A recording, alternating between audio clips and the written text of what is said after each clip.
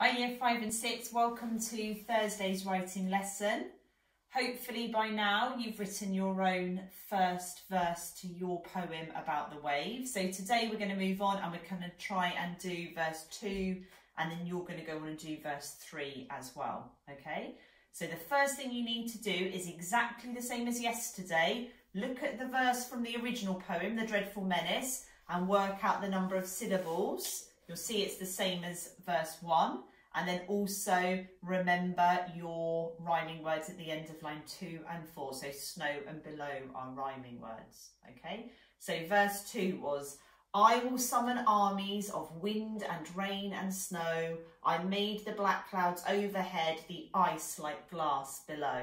So we want to focus on that idea of what the wave's going to do, how it's controlling things and making it sound like it's really, really in charge of what's happening, okay? So that's what you're going to want to try and do about your wave in your poem today.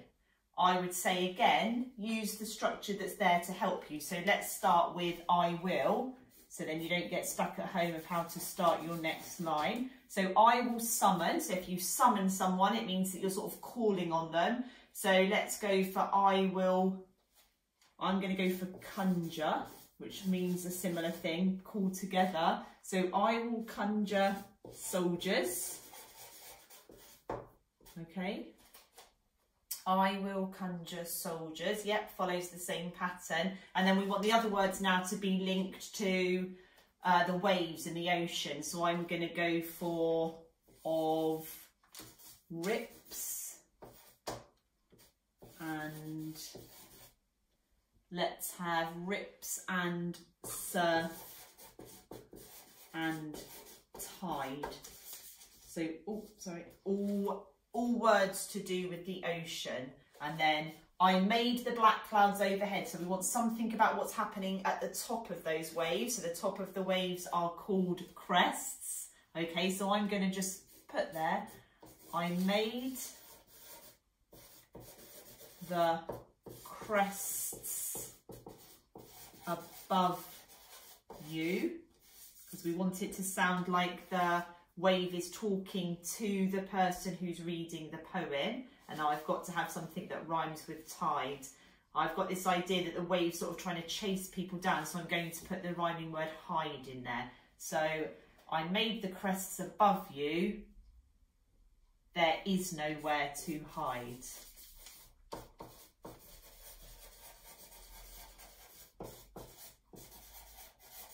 Okay, and then like yesterday, read through, check that the syllables are right and that the main beats are in the right place as well. So I will summon armies, I will conjure soldiers, yep, of rips and surf and tide. I made the crests above you, there is nowhere to hide. So there's your second verse. Today then, I want you to go on and do your second verse following my structure.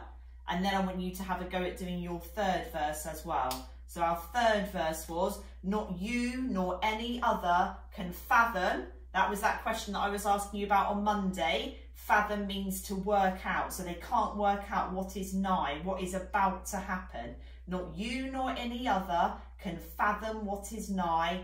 I will tell you when to jump and I'll dictate, so I'll tell you how high.